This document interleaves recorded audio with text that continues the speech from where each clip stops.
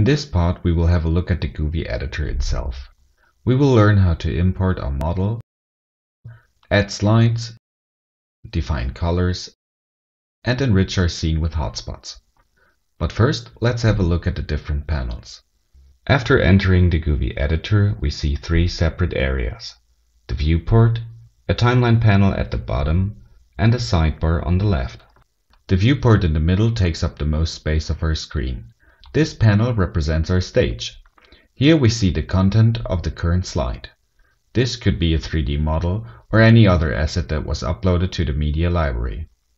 On the left there is the sidebar that lets you set all the properties for the current slide and at the bottom is the timeline showing a list of all the slides in your presentation. Viewport First of all, let's bring our model into the scene so we have something to work with. In the sidebar, open up the Model section and click on Select. Now choose a model from the media library, and a moment later you will see it in the viewport. Like in presentation mode, you can orbit around your model by pressing the left mouse button. Click the right mouse button to move your focus point. This is a virtual point the camera is moving around. Use the mouse wheel or two fingers on the touchpad to zoom in or out. Sidebar Now we're gonna have a closer look at the sidebar. At the top, there's a button that leads us back to the project page. This way you can go back and forth. A little hint. Clicking on it with the middle mouse button will open up the platform in a new tab. Here you can go to the media library and for instance replace your asset with a newer version of it. Now just close the second tab and reload your editor. This way you can save time navigating on one page. Below the project name you will see a row with four little icons.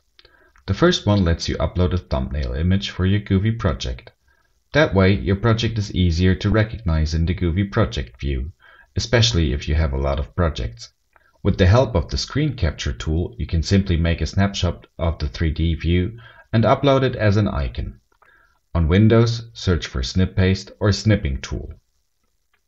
The rectangle with a plus in it adds in a new empty slide. Here you can start from scratch and import a different model for instance. All the values for the slide will be set to the default settings. The two rectangles with the plus icon duplicate the current Govie. In this case, all the settings are copied to the new slide. You may also find this icon down in the timeline below. The last item in line is the play button. Clicking it will open up a new window showing a preview of your presentation. This is similar to the View Draft button that we know from previous tutorials. Mini Timeline on the left is a small column that represents a miniature timeline. A black arrow and a yellow text indicate the current slide. Changing slides here will change them in the bottom timeline as well. The main menu contains unfoldable tabs. Some of them have a help icon on them with further information on how to use them.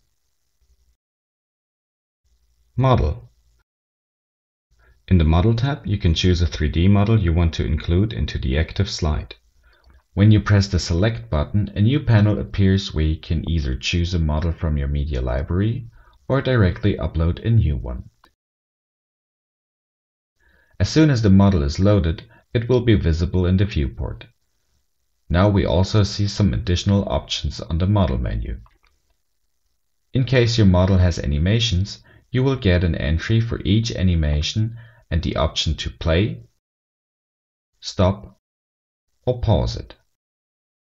Using the Pause Add function makes it possible to divide your animation into smaller parts or even play it backwards.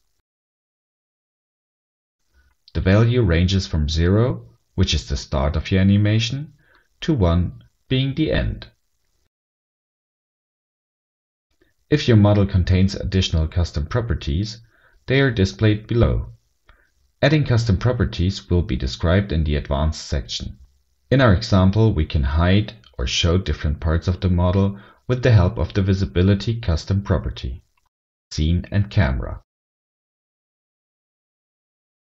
Now let's close the Model section and head over to Scene and Camera. Here you can give your slide a label so it's easy to find it in the timeline. This helps organize big projects with many slides. If you check the Use as Bookmark option, the label you entered above will be shown as an entry in the table of contents. Next, we can set the duration of a slide. Entering a higher duration value will show the current slide longer in the final presentation. That's useful in cases where there is a lot of text and you might want to give your audience some more time to read it. As a visual feedback, entering values above 5 seconds will also increase the width of the slide in the timeline. The Save button in the perspective area will store the current camera position for your slide. This is one of the core functions of the Govie editor, and it will become obvious if you change between slides, having different saved camera positions. The auto rotate feature is a little gimmick, giving you a slow turntable rotation that can run in the background while you're talking to your audience. Lighting and colors. The Lighting and Colors section allows you to define an environment for your model. You can see how it affects the reflection and lighting when you switch between different environments.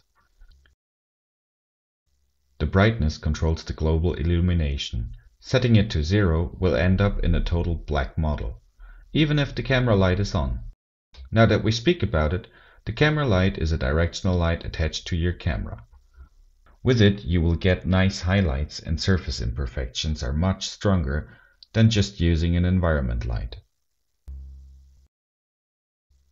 The next two colors define your background, one for the inner, the other for the outer area. They will have no effect on the lighting of your model. The ambient color on the other hand does influence the visual result.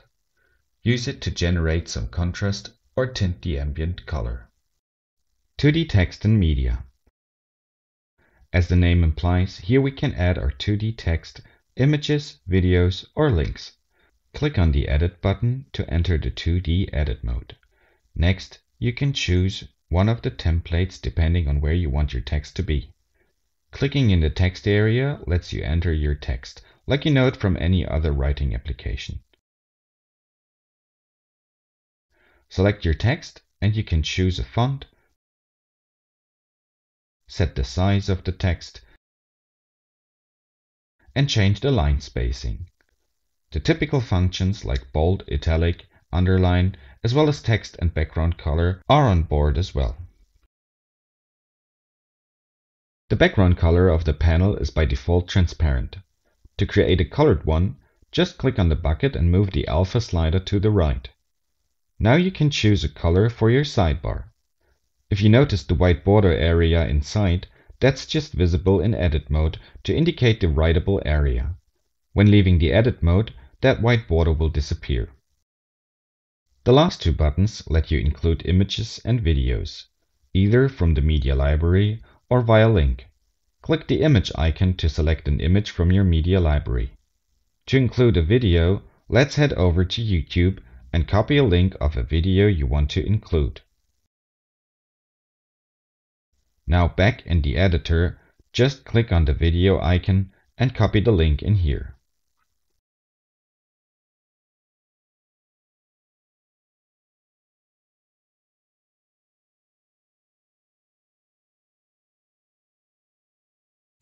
Hotspots Hotspots can be used as an interactive annotation in a scene, to navigate through your Govie, or jump to an external page. To add a hotspot, press the plus button. Now you will see a little icon with an eye on it. This icon sits on the part of your 3D model that was in focus when you clicked the button. If there is no geometry in focus, the icon is placed in front of your camera. If you hover over the icon, you will see three arrows appear. Grabbing those arrows, you can move the icon in the X, Y, or Z direction.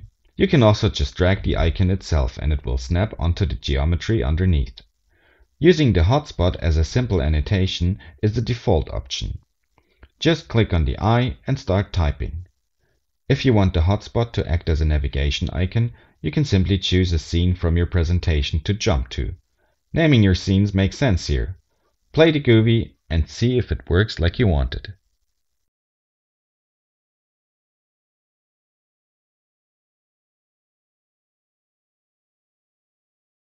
In the end, you can also use the hotspots to lead your audience to a different website. Just choose the option to redirect to a URL and enter a URL.